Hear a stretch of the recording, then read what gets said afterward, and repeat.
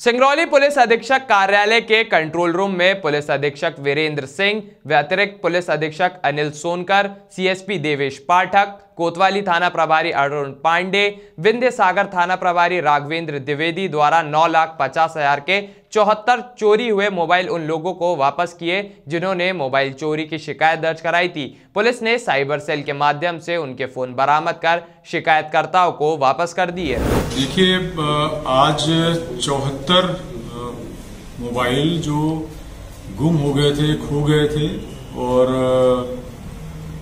Cyber cell में इनकी शिकायतें थी। लंबे समय से आ, साइबर सेल हमारा इसके लिए प्रयासरत था और उसको आ, इन मोबाइलों को ट्रैक कर रहा था। तो ऐसे चौहत्तर मोबाइल हम लोगों ने आज जो है जो उनके प्रार्थी हैं फरियादी हैं इनको संपर्क करके बुलाया था और काफ़ी फरियादी आज आए भी थे उनको हमने उनके मोबाइल वापस किए ये जो मोबाइल हम लोगों ने रिकवर किए हैं इनकी कीमत लगभग नौ लाख पचास हज़ार के आसपास है।